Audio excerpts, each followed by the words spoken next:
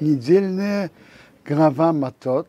Ну, мы сейчас находимся в три, начались три траурные недели. Вайдабе Мейше Урошей Хаматеис. Моше говорил к руководителям колен, Ливне Исроил, у сынов Израиля, Рима говоря, Зе Хадовор. Это то слово, Ашацива Адиной, что Бог велел. Что? Ишки еда недер Адиной, человек, который примет на себя обед перед Богом, и еще вашего, или клянется клятву, Реесор и сор сделает запрет, аунавший на свою душу, Реяхал дворы, чтобы он свое слово не нарушил. Кехол яйцами пив, как все, что выходит из его уст, ясно, чтобы он делал. То есть, если человек берет на себя обед или клятву, так у него есть повелительная заповедь выполнять, что он делает, и запрещающая, что заповедь, чтобы он не нарушил свое слово. Э, обед, о который тут говорится, это обед, он берет на себя определенный запрет на что-то. Есть, по мнению Рамбама, в эту главу включается также и другая, э, другая э, заповедь, то есть в эту главу включается также другой случай. Э, обеты, которые человек, человек берет на себя, де, делать какую-то заповедь, дать какую-то сумму определенному бедному, или учить Тору в такой-то час, или, например, зажигать свечи на столько-то минут раньше. Так, э, так если он просто говорит, что он даст бедному то-то, то-то, так на него уже становится как обед. При, поэтому хорошо говорить в таких случаях блин недер. Блин недер я на, э, на эту операцию дам столько-то, блин недер, без обеда. Блин недер, я блин недер зажгу свечи столько-то минут до захода солнца. Блин недер. И так далее.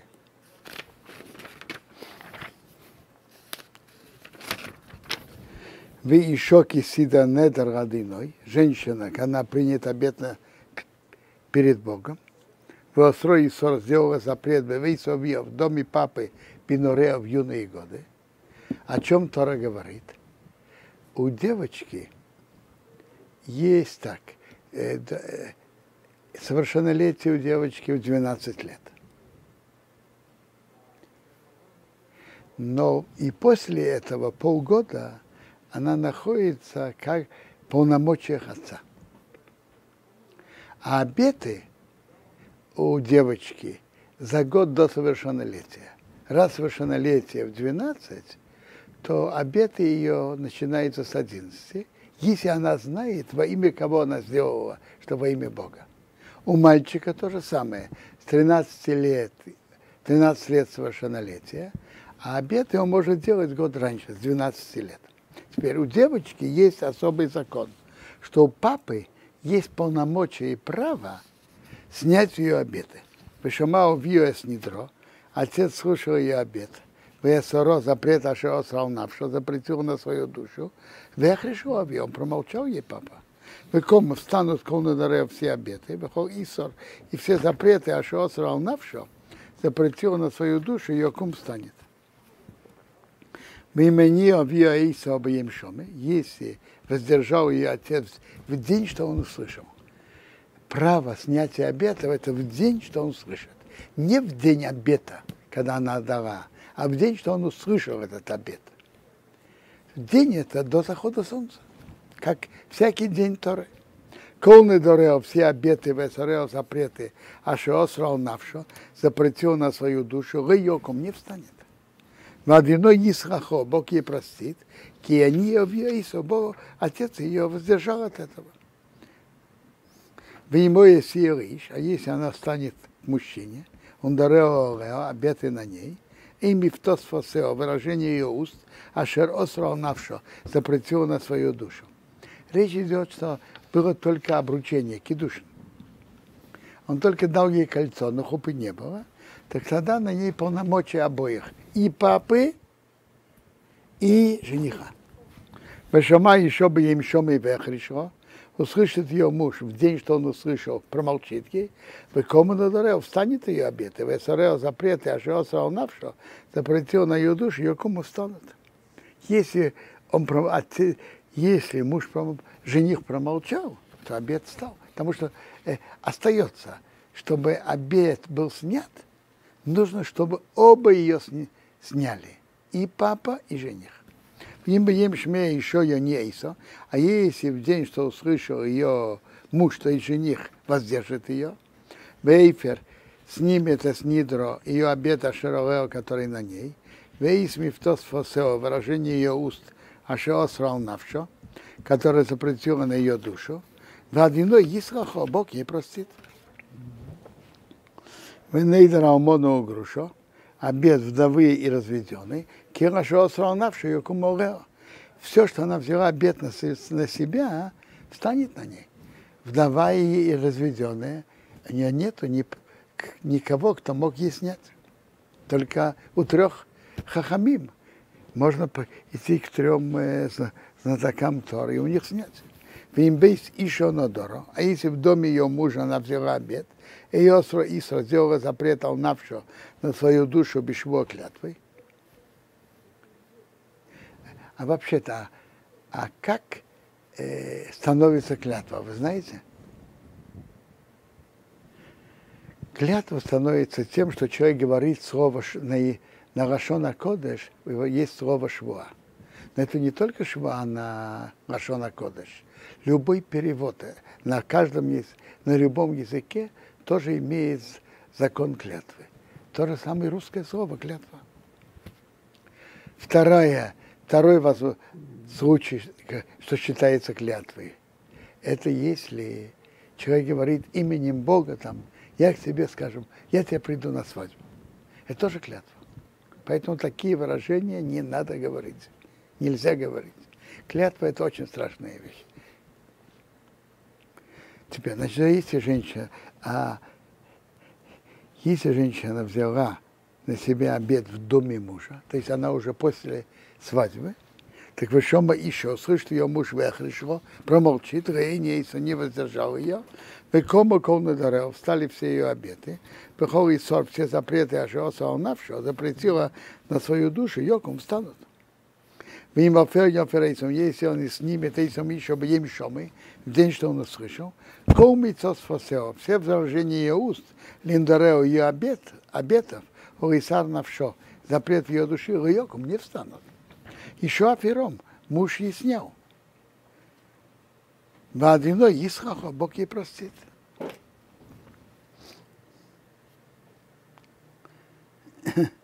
Кол Нейдер. Но какие обеты отец и муж могут снять. Коунейдак. Только обеты, что она себя мучает. Она, скажем, берет на себя, что она в течение такого времени не будет есть виноград или, скажем, персики. Так можно снять. А если э, жена говорит, что она будет говорить каждый день столько-то кусочков тылим, э, это, это муж не может снять. Колнейдер, каждый обед, хошват, свас и сор, клятва запрета, раны и снофеш, мучить душу, еще и кимену, муж может установить, подтвердить, вы еще и ферену, и муж может нарушить, снять. Муж может подтвердить и может снять. Вы махареш, яхриш, еще мы ем а если муж будет молчать от дня ко дню, этим, что он молчит, он подтвердит все ее обеты, и скоро или все ее запреты Ашорео, которые на нем, Эйкимейсом, он их подтвердил, укрепил. Кех решил бы им шомы. Шом им шомы. Тем, что он молчал в день, что он услышал. Вы им офер йофер исам ахари шомы, а если снять, он их снял после того, как он услышал, на завтра, выносит Сабейн, он будет нести ее грех. Что это значит? Что он снял после того, как он услышал, будет нести ее грех.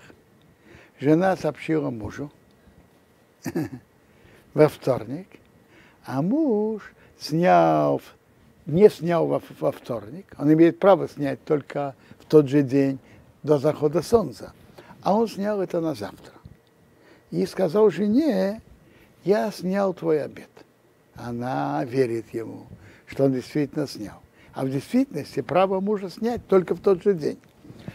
Выходит, что она из-за из того, что он ей сказал, что он снял этот обед, она его нарушает, так, так он будет нести ее грех, ответственность на нем. Он ее подвел и сказал, что он снял ее обед. Так он будет нести ее грех. И рахуким эти законы, что отцива одиное с Мейше, Бог велел Мейше, бейнишра ишты, между мужем и женой, бейнов ревиты, между отцом и дочкой, бейнорея в юности, она бейсобио. Она считается в доме ее папы.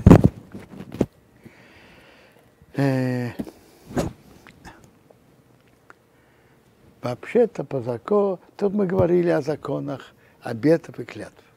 Так надо знать, что клятвы вообще-то очень, очень страшное и очень опасное действие.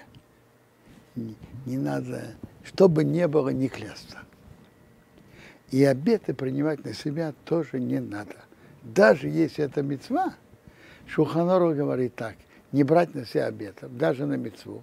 И даже говорить на знаку, я дам столько-то, у тебя есть, отдай сразу, отдай сразу же. Нет, так тоже не говори, я дам. Блин, недер я дам, если надо сказать. Есть интересное хидо. А если подумал? Что? А если подумал человек, но не сказал вслух? Подумал, обсудил или подумал, решил? А? Подумал, что даст столько-то, но не сказал вслух. И я спрашиваю, подумал, размышлял или подумал, решил? Если подумал, размышлял, это многого не стоит. Это все-таки не обед.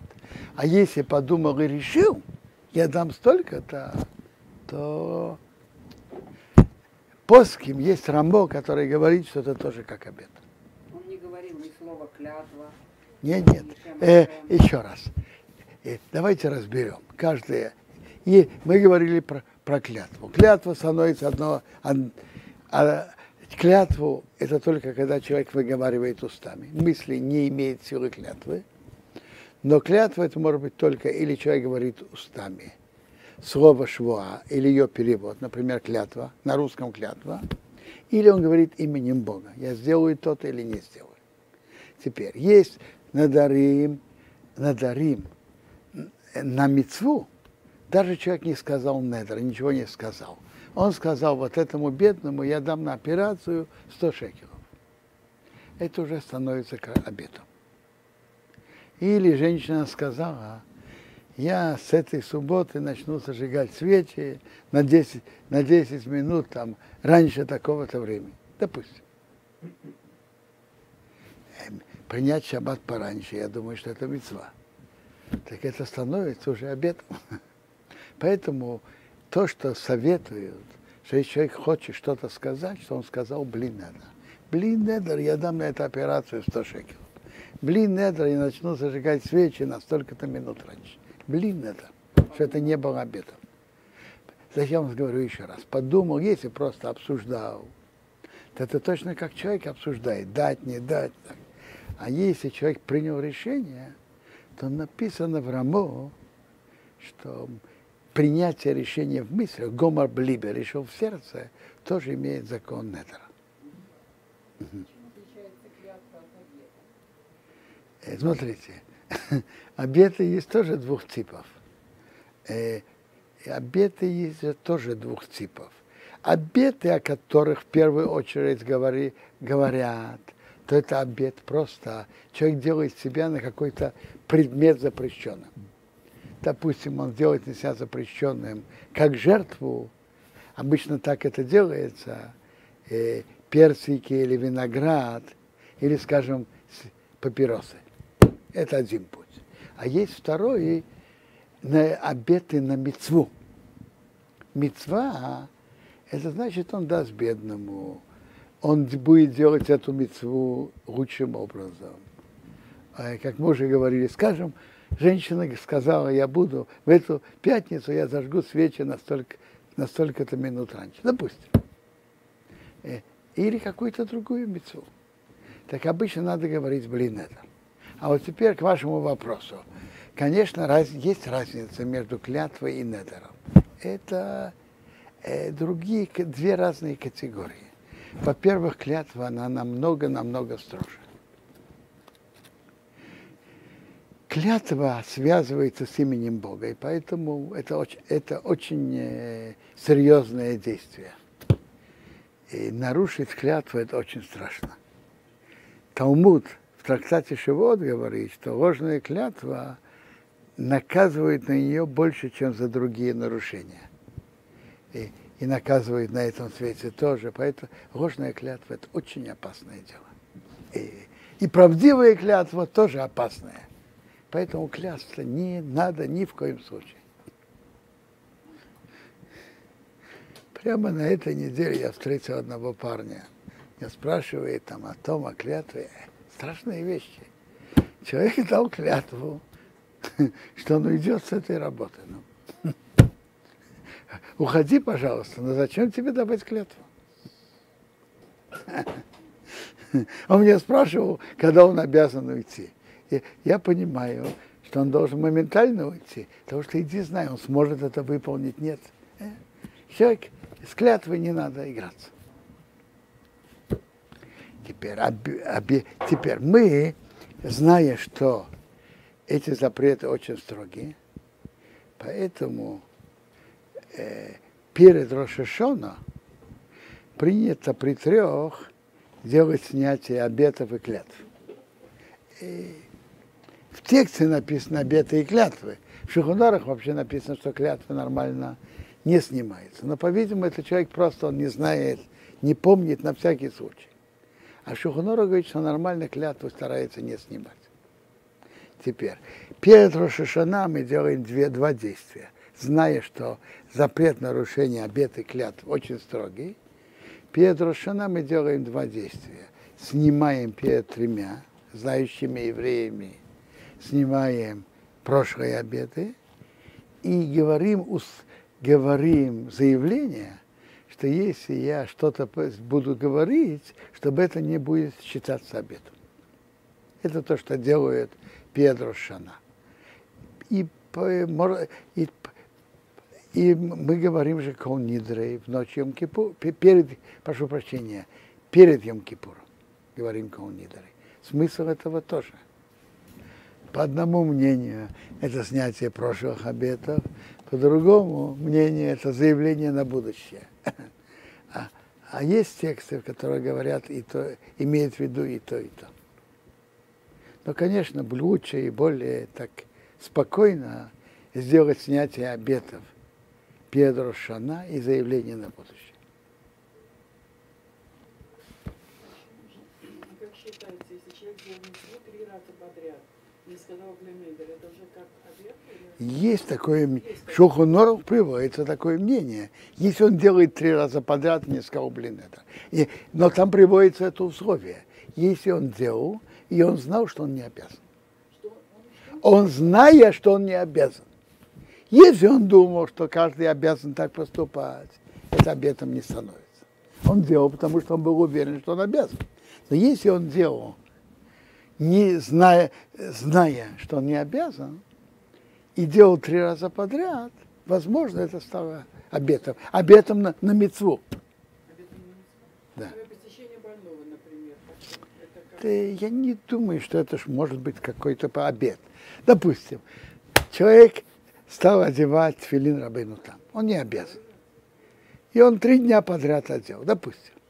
Это может быть обед, посещение больного. Это мецва, конечно, и все. Если человек скажет, я посещу такого-то больного, может быть, это будет недер на мецву. Но чтобы это было три раза, э, кто сказал, что и надо его посещать каждый день, никак, и что вы понимаете, это не какая-то мецва, это доброе дело, это мецва. Но нет такая мецва, что может быть, так, так, так мне кажется, что была мысль, что человек взял себя как на обед. Клятву невозможно снять даже при Эй, я не сказал, что невозможно. Э, возможно снять, если на, есть на это веские причины. Но стараются клятву не снимать, потому что клятва связана с, с упоминанием имени Бога. Что веские причины? Эта клятва мешает ему, я не знаю, мешает ему в учебе. Эта клятва мешает ему э, в нормальных, в хороших отношениях в семье. Шалом байт это тоже мецва. Клятву снимают только из-за какой-то важной причины. Э, выражение в Шуханарух мидохак. Стесненное положение. Дохак. Вынужденное положение. А так обычно клятву выполняют, а не снимают. А самое лучшее, между прочим, а говорить, что человек все, что он будет делать в будущем, в течение следующего года, или он может это сказать в середине года, э, что то, что он будет делать и так далее, что это не было обетом, человеку не нужно для этого трех евреев. Он может сам встать и это сделать, это э, заявить. Но вслух обязательно. Конечно, вслух. Это человек может сделать сам. А вот снять обеты нужно иметь трех знающих евреев.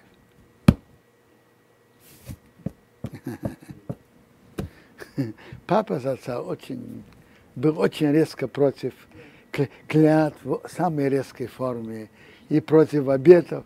Я помню, как сейчас, когда Габай говорил папе Мишебейрах, и иногда Габаим говорят там, когда дают алию. И говорят, Бабур там Шенодер, он обещал дать что-то там на Бекнесет. Папа сразу выкрикивал Блинедер. И его голос Блинедер был громче голоса Габая, который говорил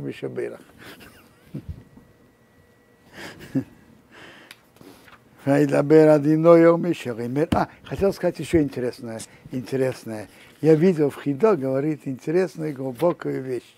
Он говорит так, что он приводит посук, Гаяхал двора, и человек не нарушает свои слова, бережет свои уста. Так хола яйцами пивьяса. Все, что выходит из его уст, делает. То есть, когда человек бережет свои уста, то то, что он говорит, имеет особые силы и выполняется. Если человек такие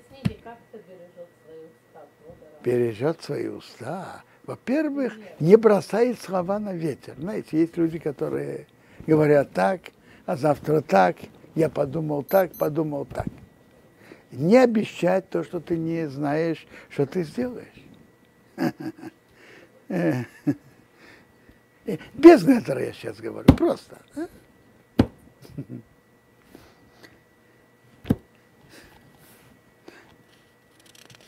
Когда человек бережет свои уста, то его уста имеют особые силы. Это одно. Второе. Талмуд нам говорит, что уста человека имеют очень могучую силу. Емара выражается так. Брит крутали с фатаем. Есть союз у уст. То, что человек говорит, имеет могучую силу. У каждого человека. И поэтому никогда не надо говорить на плохое. Там, этот больной точно скоро умрет, допустим. Такие вещи, такие вещи Хасвахалила не надо говорить. Гемора приводит, что приводит, говоря, что то, что есть союз уст, что то, что человек говорит, имеет силу, она приводит посук. Авраам, когда он шел приносить жертву Ицхака, так он оставил Авраам двух парней, и он сказал, вы останетесь здесь, а я и мальчик пойдем, в Ништахове мы поклонимся и вернемся к вам. И действительно они вер- обвернулись оба. На что Авраам шел? Что он, он шел, что делать с Ицхаком? Мы знаем. Но он сказал, мы вернемся к вам. Яз- Язык, он говорит только на хорошее. Только, или только на хорошее, или молчать.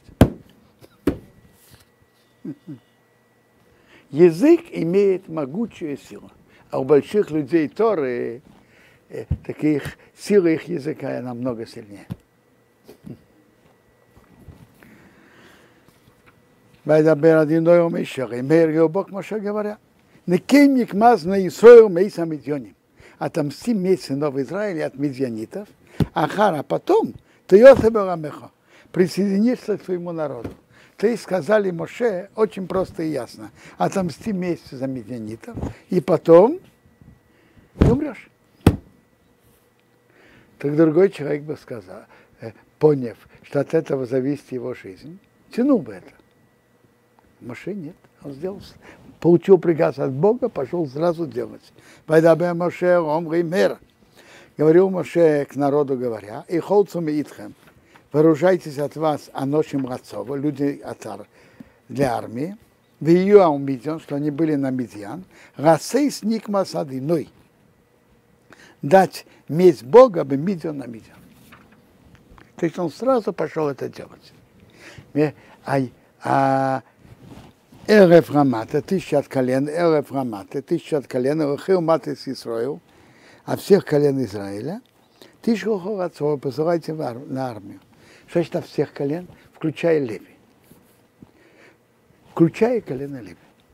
Обычно они не выходили на войну, а тут особая война во имя Бога, да. Во имя Срумяуфа и Исраил были переданы тысячи Израиля, Эрев Рамата, тысячу для, на колено, на каждое колено. Что ему Срулев, Хауц и Цова. 12 тысяч вооруженных из армии. Интересно, выражения были переданы. Что значит были переданы? Раша говорит нам так, что были переданы как бы против их желания. Э, руководитель еврейского народа, любимый народу, как только они услышали, даже Раньше были, что они сердились на Мейша, но как они услышали, что смерть Моше зависит от этой войны, от этого места, не, не хотели идти, были переданы как-то против их желания, были заставлены передать. Смотрите, это, это поведение Моше, он, не, он сразу энергично сказал, чтобы э, идти на войну, а на, народ не торопился, не, не хотел, чтобы Моше уходил. И они были переданы против их желания. Тут есть интересное, очень интересное замечание. Бог говорит Моше одно, а так слышится, а Моше, а Моше говорит народу другое. Послушайте, что Моше говорит. Отомсти месть сынов Израиля от Мизьянитов.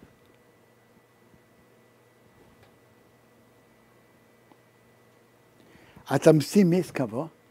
Сынов Израиля от медианитов. Месть за кого? За сынов Израиля. Что за то, то что медианиты послали батальоны, спецбатальоны девушек совратить еврейский народ, в эпидемии погибло 24 тысячи евреев. Так месть кого? Сынов Израиля. А что Моше говорит? Чтобы они были на Мидион, дать месть за Бога в Мидион. Это месть за Бога. Как это Моше э, меняет то, что Бог говорит? Моше говорит ему месть за медианитов, месть за сынов Израиля. А Моше говорит месть Бога. Как это? А? Вопрос? Есть интересный комментарий, который э, приводит от Вейцака из Бадычева за отцом. Интересно, э, приблизительно то же самое говорят от имени брата Агро, Агро, Агро из Вильна, Рабаврома. Таховый Вицху говорит так. Есть вопрос. Праздник, э, праздник Песах, не, в Торе нет такого названия. В Торе есть название праздник Мацот. А Мишна называется Псахим. Почему такое изменение? А? Почему в, то, э, в Торе это Хага Мацейс, праздник Мацот, а в Мишна Псахим? Он говорит так, это как два друга. Каждый из друга, который очень любит один другого, каждый любит другого как себя и даже больше, чем себя. Есть интересная гемора, которую тоже надо понимать, конечно, не буквально. Есть гемора, которая говорит, а что написано в Тфилин Бога? Гемора брах, Брахот. Ну, понятно, что это не что-то, Бог же не что-то физическое. И не то, что Бог что-то одевает. Что отвечает Гемора? Что написано в Тфилин Бога? Так там Гемора говорит, Мик Ямху Израил, кто как твой народ Израиль. Давайте послушаем. А что написано в, в Тфилин, который мы одеваем? Слушай, и, и написано «Слушай, Израиль, Бог наш, Бог один». То есть мы говорим о величии Бога, этот филин, то, что мы одеваем каждый день. Так Гемора говорит в духовном смысле, чтобы было, должно быть написано в Тфилин Бога, кто как твой народ Израиль. То есть в нашем тфилине мы говорим о величии Бога, а Бог что говорит? О величии еврейского народа. То же самое э, в Торе, который писал Бог, велел писать Моше. Бог велел писать Моше.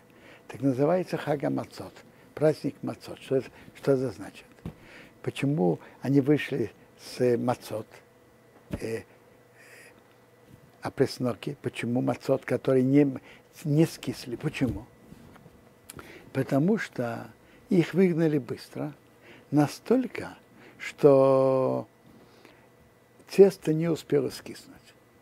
Ну, еврейский народ, когда Бог велел им идти, куда, куда он велел им идти? В пустыню. Там нет ни, ни еды, ни, там ничего не растет. Они не спрашивали никаких вопросов.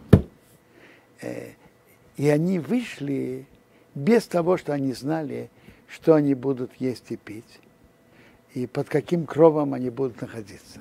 То есть Бог напис- называет этот праздник праздник Мацот, который говорит о величии еврейского народа, что еврейский народ пошел в неизвестное место, пошел в пустыню, не зная, что они будут есть и пить, и под каким кровом они будут находиться. Так там Тора так называет. Мацот, ха- праздник Мацот, о величии еврейского народа. А Мишну, которые составили мудрецы еврейского народа, они назвали Песах. Почему Песах Псахим? Песах говорит о величии Бога, что Бог, тут египте, и дом египтянина, его первенец погиб. Тут дом египтянина, его первенец погиб. А тут дом еврея, ангел смерти перепрыгнул. То есть Бог спас евреев. То есть псах, евре, мудрецы, которые представители еврейского народа, говорят, как Бог нас, э, нам предан, и как Он нас э, любил и спас в, в ту ночь. А Бог в Торе написал Хаг Хамацот, праздник Мацот, как еврейский народ самоотверженно вышел в пустыню, пустыню, не заботясь ни о чем. Подобное этому происходит, было здесь. Бог говорит Моше, смотрите, э, отомсти месть сынов Израиля. За себя я еще как-то мог бы э, простить, но э, э, месть сынов Израиля, их, их трогали из-за того, что, что медианиты делали, погибло столько евреев. Необходимо отомстить за это. Необходимо их наказать. Они мои любимые сыны Израиля. За то, что они сделали им так, это надо им отомстить. А Моше что говорил? Моше говорит про, про Бога. Моше говорит так, за себя, может, мы могли бы как-то подумать, уступить. А, а месть Бога, они затронули почет Бога, как можно на это уступить? Как два друга, что каждый говорит и за другого. Почет другого, э, что то, что другому важно, еще ему еще важнее, чем то, что ему важно.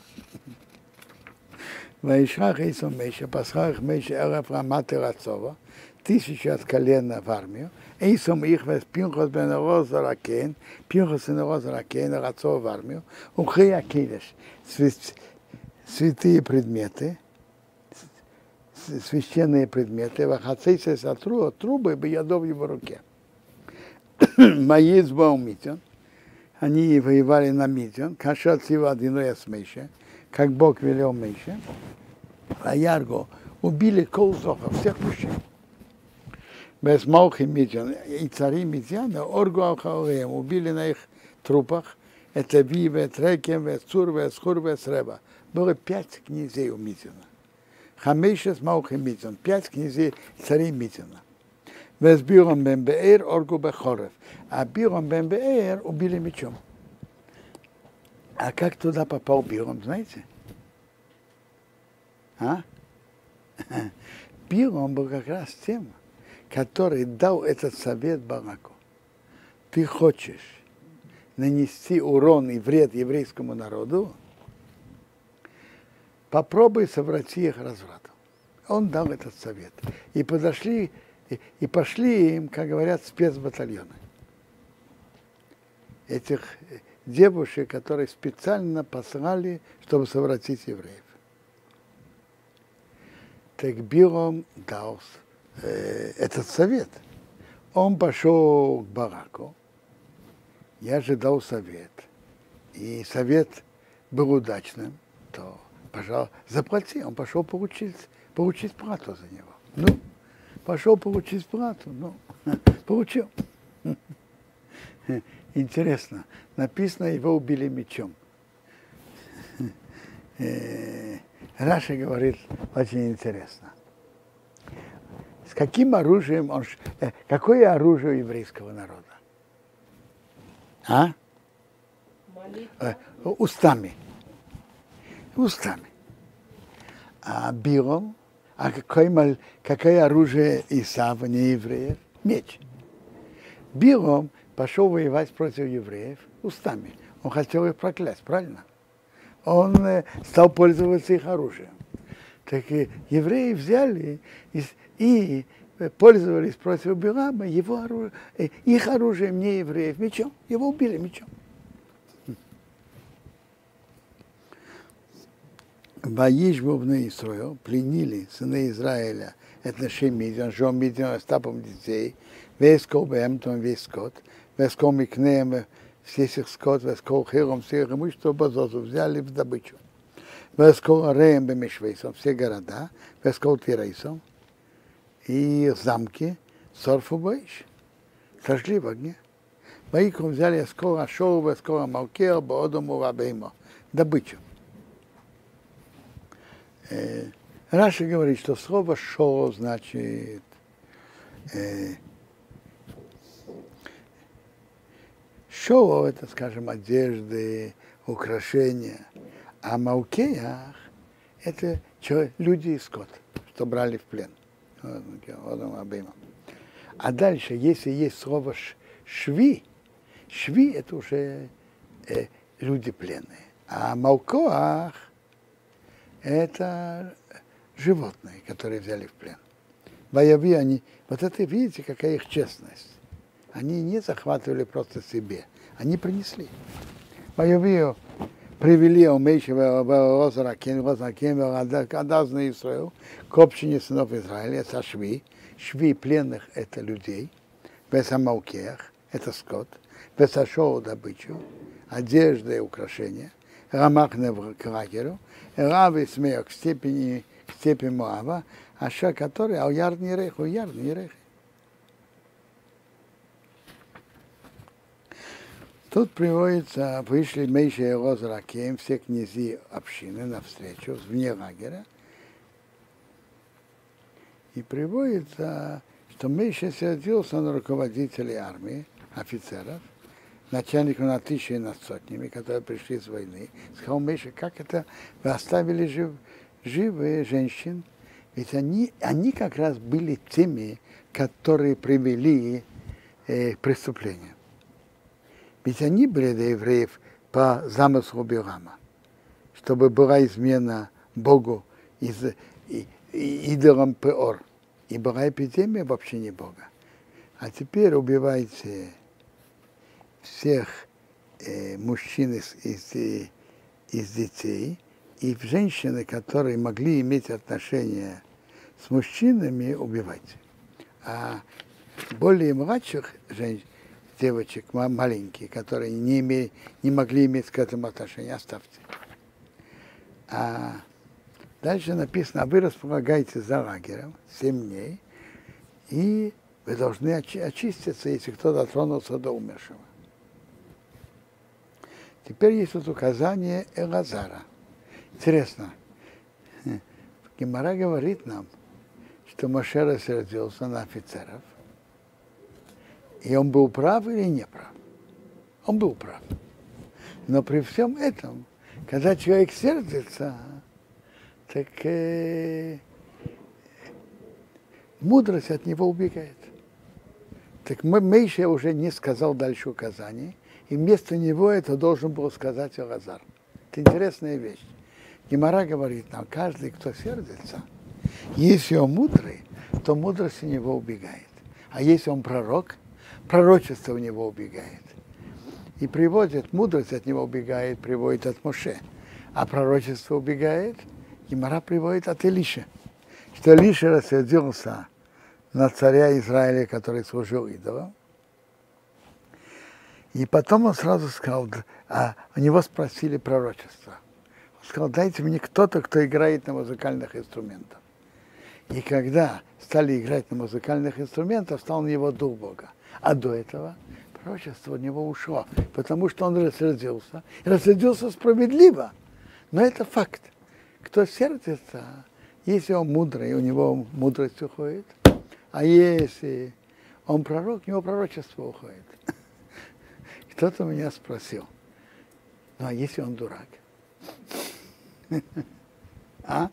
Что? И мне кажется так, что у каждого дурака есть чуть-чуть какая-то капелька ума. И когда он сердится, то эта капелька ума его тоже покидает. Поэтому даже дураку, даже дураку не стоит сердиться.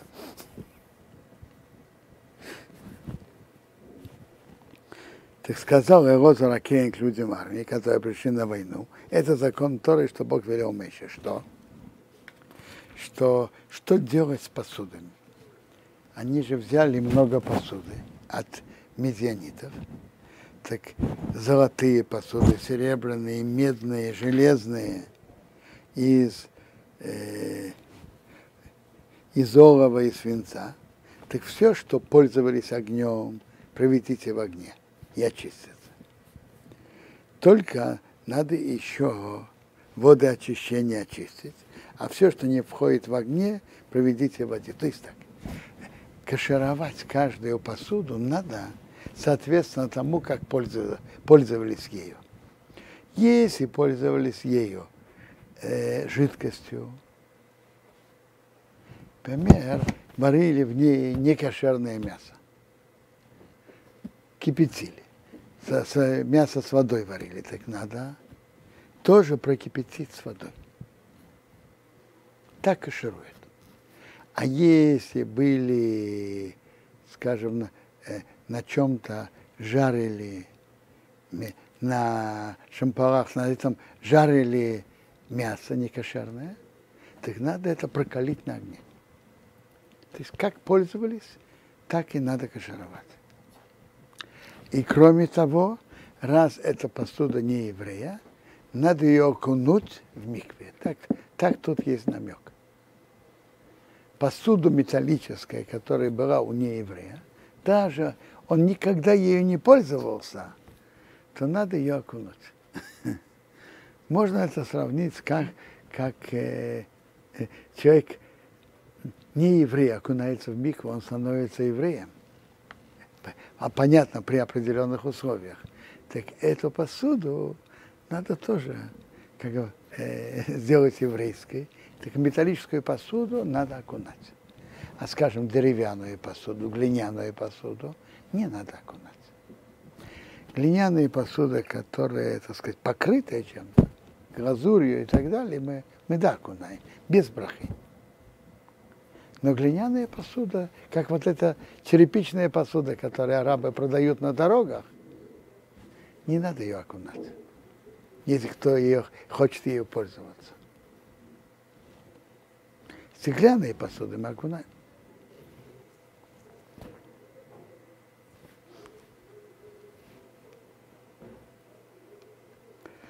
Тора нам дальше рассказывает, что э, сделали расчет, сколько было э, пленных людей и сколько было из каждого вида скота. И разделили добычу половина те солдатам, которые выходили в армию, а половина всей общине. А теперь от солдат они должны были выделить одну из 500. И это одну из 500 от человека и от скота. И надо было дать Розу Акейну приношение во имя Бога. А половина, которая была для еврейского народа, так там надо было взять один из 50 и дать, и дать левитам. И тут дальше идет расчет, сколько было скота. Например, мелкого скота было 675 тысяч всего. Быков 72 тысячи. Ослов 61 тысяча. Души людей так было 32 тысячи. И дальше Тора нам рассказывает каждая, каждая половина, и как это дали, э, люди армии дали Розуру Коину, а остальные евреи свои половины дали одну из 50 левитам. Эти две тысячи людей, это эти девочки? Это дев... совершенно верно, девочка. Я понимаю, как, как рабыни.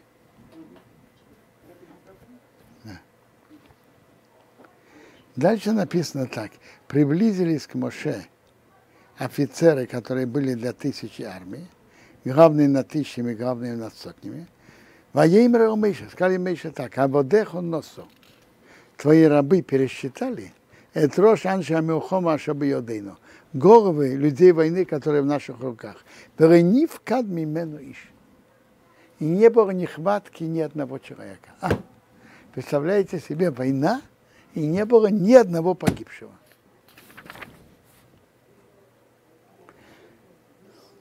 Это, было, это чудо, конечно. В Анакре им принесли из Коба Нашем, жертву перед Богом, приношение, и шашамоцах лизов. Человек нашел разные украшения, клизов, золотые, эцодов.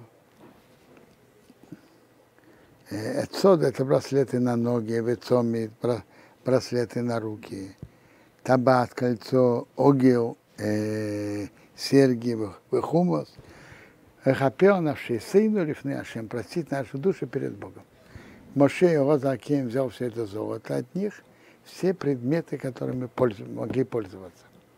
И все золото, приношение, что они принесли Богу, 16 тысяч 750 шекелов, от главных на тысячу и главных над сотнями. Ну, сколько это, хотите знать, сколько это по весу? 16 тысяч 750. Теперь так. Вопрос, сколько это шекел? Если шекел принимать, что шекел это 16 грамм, то тогда э,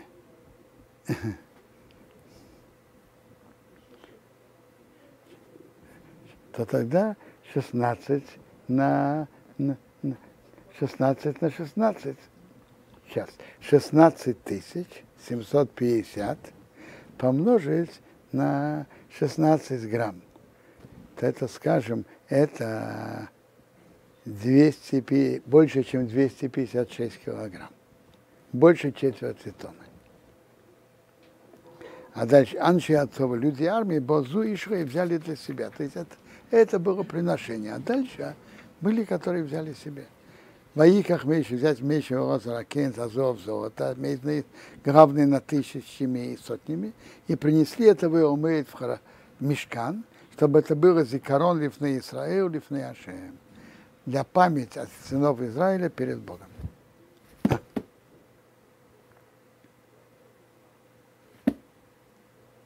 Принесли приношение Богу за чудеса, которые Бог с ними сделал. Тора нам в конце главы рассказывает историю, что у колена Рувена и колена Год было очень много скота. И они увидели территорию на восточном берегу Иордана. Какую территорию? Земли Сихана и Ога, которых они разбили. Это несколько глав назад мы об этом читали. И они увидели, что эти места очень хороши для пастбищ. И сыновья Госла и Авровина пришли к Моше, к Озракоину и к руководителям общины, говоря, что вот эти места, они перечислили эти места, Тарод, Ивон, Язер, Нимра это, и так далее. Земля, которую Бог развел перед общиной Израиля, это земля хорошая для скота. А у наших, а у наших рабов, то есть у нас есть скот. То есть они пришли к Моше с намеком, чтобы Моше им дал это в наследственный удел их колен. И тут идет сразу перерыв, идет новая глава. И в этой новой главе они уже говорят Моше прямым текстом, что была дана эта земля твоим раб, рабам в наследственный удел. Не переведи их на, на Иордан. Во-первых, что значит, почему этот кусочек раньше э, идет сам по себе? Вот, мне кажется, очень просто. Так я видел в комментарии.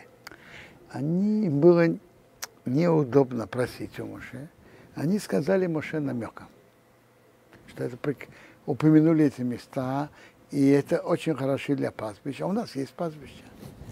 И они ждали, чтобы Моше прореагировал. А Моше не хотел прореагировать. Он прекрасно понял, что они хотят. Он молчит.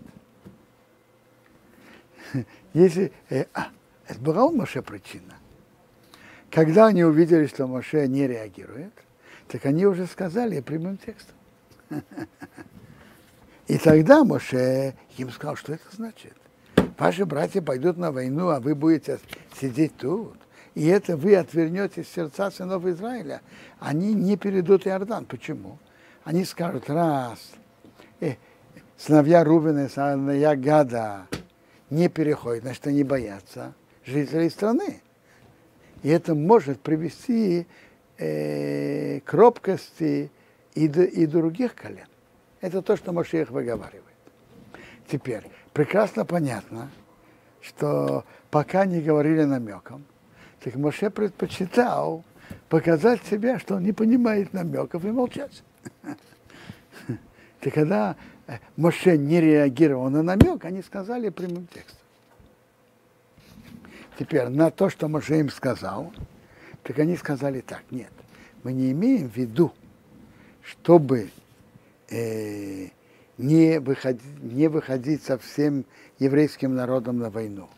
Мы хотим и получить эти территории, но мы пойдем со всеми, и мы даже пойдем в передовую, но потом эти территории, чтобы мы их получили.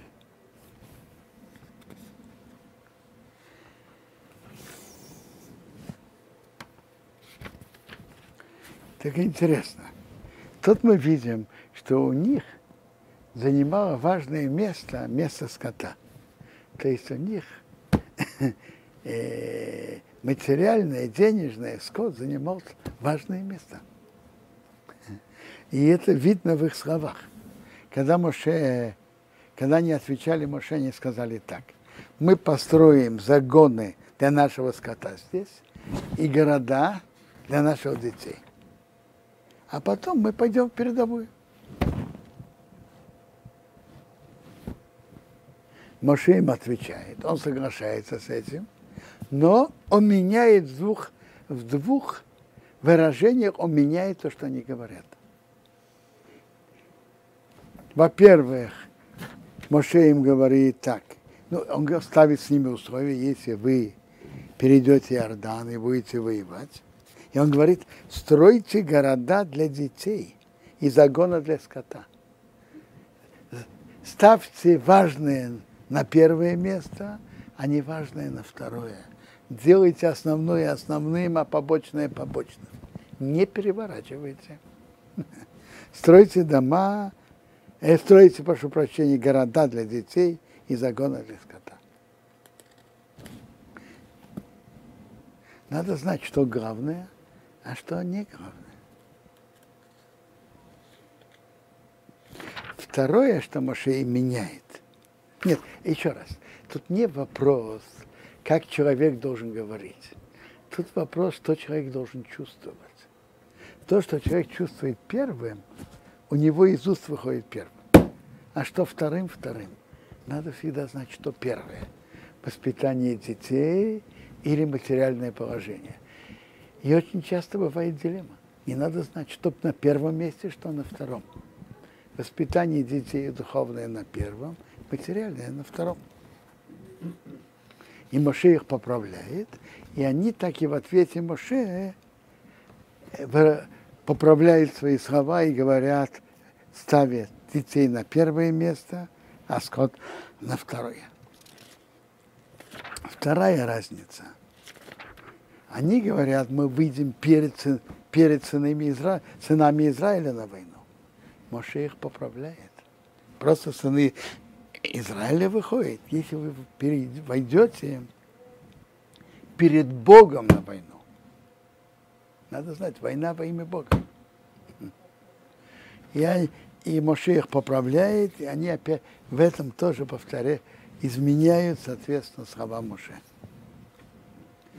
Но вообще-то то, что они хотели получить территорию на восточном берегу Иордана, это было нехорошо для них. Они потом были изгнаны пер первыми. И Медраж говорит, Нахоама Вухерет Рутевейрах. Наследство, который торопится, не будет иметь удачи. И они бы потом были изгнаны первыми. И то, что у них материально занимало важное место, это, это было причиной. А надо знать, что главное, что, что на первом месте ставить. Тут мы останавливаемся.